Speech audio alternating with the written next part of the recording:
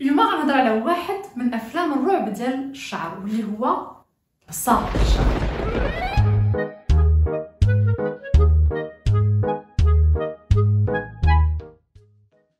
تساقط الشعر هو ظاهرة طبيعية بحيث أن الشعر اللي كيطيح كينوض في بلاصتو بواحد آخر. ولكن كيرجع مشكل إلا كان الشعر اللي كيطيح أكثر بزاف من الشعر اللي كينوض ولا ما كينوضش كاع. وهنا علميا كيتسمى الألوبيشيا الألوبيشيا وحسب المصادر العلمية كنفرقوا ما بين جوج ديال المجموعات ديال الألوبيشيا نون سكارين الوبيشيا وسكارين الوبيشيا بالنسبة للسكارين الوبيشيا هي بكل بساطة الشعر اللي طاح ما يقدرش يعاود يرجع مرة أخرى حيت البصيلات ما بقاتش قادرة إنها تنتج الشعر اولا ماتت Do something! Do something! ولحسن الحظ ماشي هو الأكثر انتشارا. المجموعة الثانية واللي هي النون سكارين الوبيشيا واللي كتعني على أن الشعر واخا كيطيح دابا بشكل غير عادي يقدر يعاود يرجع يكبر مرة أخرى حيت البصيلات ديال الشعر مازال قادرة أنها تنتج الشعر وهي الأكثر انتشارا.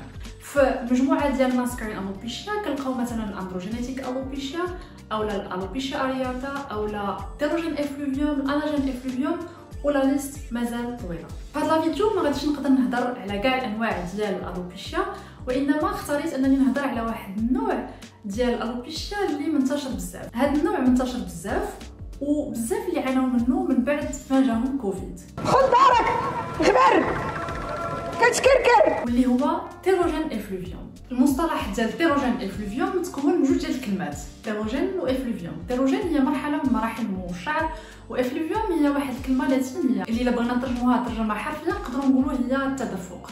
alors telogen effluvium هي نتيجة ديال واحد الخلل كيوقع في le cycle ديال نمو الشعر le cycle ديال النمو ديال الشعر فيه ثلاثة المراحل الاساسيه مرحلة ال anagen واللي هي أطول مدة وكيكون فيها من 86 حتى 90% ديال الشعر. مرحلة ال catagen واللي هي مدة ديالها قصيرة وكيكون فيها من 1 حتى 2% ديال الشعر.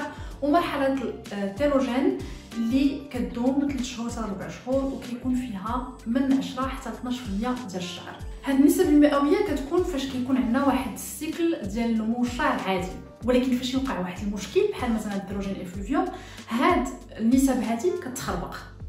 وكيوقع مثلا في ال telogen effluvium كيوقع واحد التدفق في مرحلة ال telogen واليوم مثلا تكون عندنا 10% تقدر تكون عندنا 20% ديال الشعر في ديك المرحلة اللي غادي يطيح نجيو دابا للأسباب. شنو هما الأسباب اللي كيعطيونا هذا ال telogen effluvium باش نعرفوا الأسباب خاصنا بعدا اولا نفرقوا ما بين جوج ديال الأنواع ديال ال telogen effluvium النوع الأول اللي هو ال acute telogen effluvium والنوع الثاني اللي هو ال chronic telogen effluvium ال acute telogen effluvium هو النوع ديال ال telogen effluvium ال classique اللي كيجي من بعد واحد المحفز جسمي ولا نفسي اللي دار واحد التوتر في الجسم ديالنا. من بين الأسباب كنلقاو مثلا الا درنا واحد الريجيم قاصح والوزن تاع الجسم تاعنا هبط دغيا بواحد الطريقة غير اعتيادية.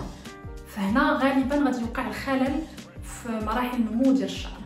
إلا مثلا عاوتاني كانت واحد العملية اللي دارت واحد la perturbation في ال corps أولا مثلا بعد الولادة أولا سخانة أولا الفيروسات بحال الفيروس ديال كوفيد.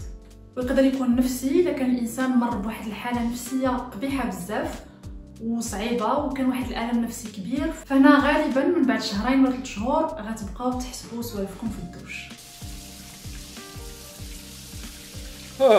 ال acute telogen effluvium كتجي من بعد شهرين حتى ثلاث شهور من بعد المحفز اللي وقع لل corps ديالنا سواء نفسي أو جسمي وكتبقى من 6 شهور حتى ل 9 شهور. والكمية ديال الشعر اللي كيطيح اللي كطيح هي كمية غير عادية وكتكون كثيرة. chronic telogen effluvium هي واحد النوع ديال ال telogen effluvium اللي كدوم أكثر من عام.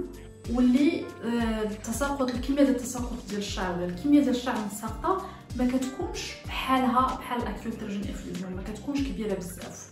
والأسباب ديالها كتكون شوية مختلفة. نجيو دابا للأسباب. alors اولا باش الإنسان بعدا يعرف يتأكد على أن عنده chronic telogen effluvium ماشي نوع آخر ديال ال alopecia خاصو ضروري التأطير نتاع طبيب مختص. حسب المصادر العلمية ومن الأسباب ديال اللي تقدر تؤدي بنا ال telogen ولا ال chronic telogen effluvium هي اولا فاش كيكون واحد الخلل في الغدة الدرقية. ثانيا نقص في فيتامين دي سوء التغذية نقص في الزنك ونقص في الفيتامين دي يعني من الحوجات الاولى اللي يقدر يدير بنادم أنه يدير واحد check-up ويدير تحاليل باش يعرف واش عنده شي نقص في مادة من هاد المواد هادو. نجيو للعلاج ديال ال acute telogen effluvium أول حاجة المحفز ما خاصوش يبقى. داك المحفز ولا داك الشيء اللي دار لينا داك le stress le corps سواء جسمي ولا نفسي ما خاصوش يبقى. إلا ما بقاش غتاخذ الوقت ديالها و le cycle غيتقاد. بالنسبة لل chronic telogen effluvium ولا لقينا على أن كاين واحد الخلل ولا واحد النقص في le corps فبكل بساطة خاصنا نقادو هذاك الخلل ولا هذاك النقص هذاك اللي عندنا. العلاجات ديال تساقط الشعر ما كتكونش في مرحلة ال telogen وإنما كتكون في مرحلة ال anagen اللي عليها طالع الفيلم اللي هي أهم مرحلة في النمو ديال الشعر.